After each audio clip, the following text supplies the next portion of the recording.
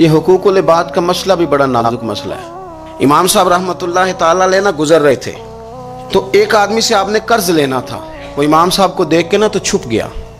मकरूस कैदी होता है और बड़ी तकलीफ़ में होता है। और आप यकीन करें कि बातें करने वाले भांत भांत की बोलियाँ बोलते हैं। कुछ ये भी कहते हैं कि तू फंसा कैसे?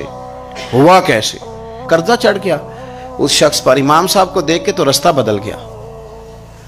इमाम साहब ने आवाज़ दी। फरमाया, क्या हुआ? किधर जा रहे हो? अर्ज़ करने लगा, हजूर, पैसे देने। तकलीफ़ है। आप पूछेंगे, शर्मिंदगी की वजह से छुप रहा हूँ। और रो पड़ा। इमाम साहब रहमतुल्लाह ने उसका हाथ पकड़ा। फरमाया, जा, मैंने तेरे सारे पैसे माफ़ किए। और फिर इमाम साहब ने कर्जा लेने वाले ने दोनों हाथ बांधे। कहा, यार, वो जो तेरे दिल को मेरी वजह से तकलीफ़ पहुँची है ना, जाने तो कितने दिन घर से नहीं निकला?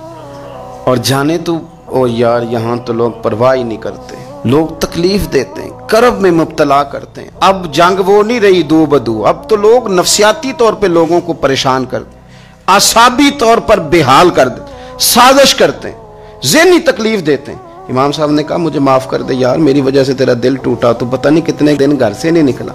कर्जा मैंने माफ़ किया। और कहने लगा, हजूर, आप क्या फरमाया तो एक दफ़ा कह ना कि मैंने माफ़ किया तो कहेगा तो मेरे दिल को सुकून आ जाएगा। फिर उसने माफ़ किया तो इमाम साहब ने तोहफे भी दिए। मैं ये तोहफे भी रख लेता कि तेरा दिल ठंडा हो जाए। अल्लाह हमें अपने बुज़ुर्गों के तरीकों पर चलने की तोफ़ी कताफ़ा